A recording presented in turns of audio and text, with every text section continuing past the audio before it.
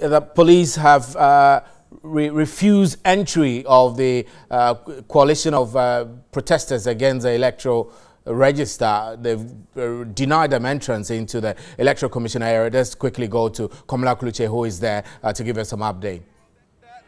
The demonstration uh, by the inter-party coalition against the electoral commission doing a new register. Well, they they have gone through all the mains. They have gone from the Kawukudi Park through to the Jubilee House, uh, went around uh, the Ridge area. Finally, their final stop here is the Electoral Commission of the Republic of Ghana. You can see heavily armed police and military men are here guarding the place. Well, the intention of this group, they say, is that theirs is to present a petition. The first one has been given to the seat of government. The second one, they are giving to the Electoral Commission, and from there, they are moving nowhere until the Electoral Commission rescinds its decision. You can see them from the pictures. You can see how they are defiant. The police is trying to control the crowd. Uh, they, they, they are doing everything they can to be able to get the attention of uh, the Electoral Commission. We are not too sure who is going to come uh, take the petition on behalf of uh, the electoral commission. Let me let me just let me just engage. Let me just engage briefly. Baba Jamal, who who uh, who who uh, the former member of parliament for um, Akwatia. Yes, Baba Jamal. Yeah. Well, okay, so okay, all right. So let me just ask you.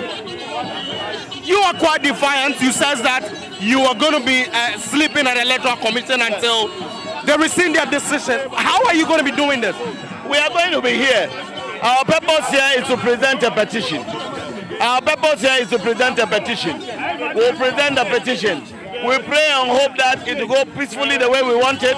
We'll go in and present our petition.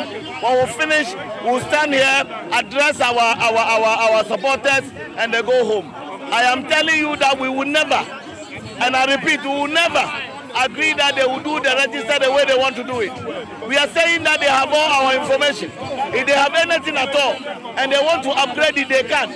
But to change the whole register, we will never agree. Baba Jama is the director of legal for the NDC. So uh, the, the security led by the director of operations for the Greater Accra region police uh, um, Kwesifo is trying to warn off the people. He's trying to cordon them off so that the petition is uh, presented to the Electoral Commission. But, well, they appear quite defiant in the sense that, well, they're going to go ahead, uh, present the petition, and they will remain here until uh, they get something substantive from the Electoral Commission in rescinding their decision. It's been a long road. It's been a very, very long road, but finally they are here to present the petition. We'll see how it pans out, whether or not they will be able to sleep at the Electoral Commission.